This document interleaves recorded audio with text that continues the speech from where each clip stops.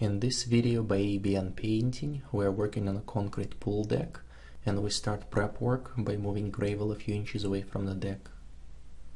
Next step is pressure washing. After pressure washing, we disperse TSP using plastic spray pump and scrub the deck with a broom that has medium stiffness bristles. After scrubbing, we rinse off the chemicals. There are a few areas on the edges of the pool deck where the concrete is chipped off and we are going to repair those areas prior to painting. We are using Excel texture that we apply with a putty knife and then using a wet sponge we blend it in.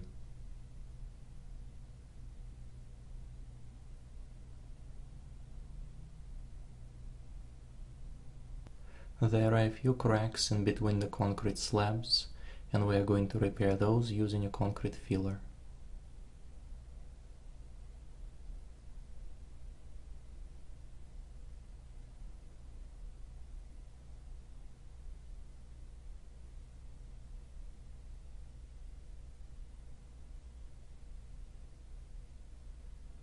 We tape off the water drain so it doesn't get filled with paint.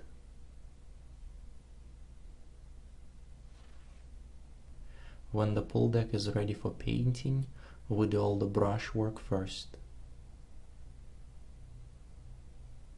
Then we're using a roller for the remaining area. This pool deck is going to have two colors and we start with an accent color first. And then we're using the paintbrush again to paint all the edges with the main color.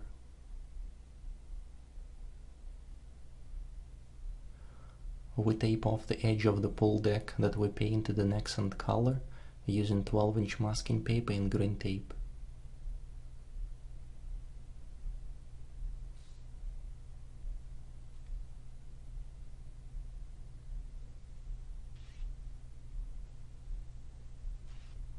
Then we're using the roller to paint whatever is left.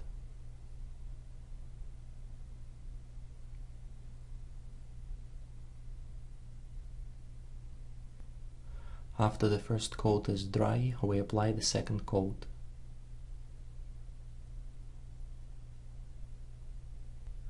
We do a few touch-ups and the pool deck is ready.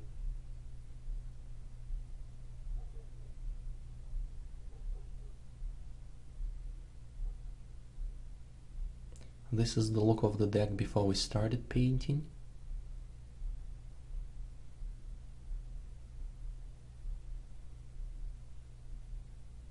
And this is after we finished.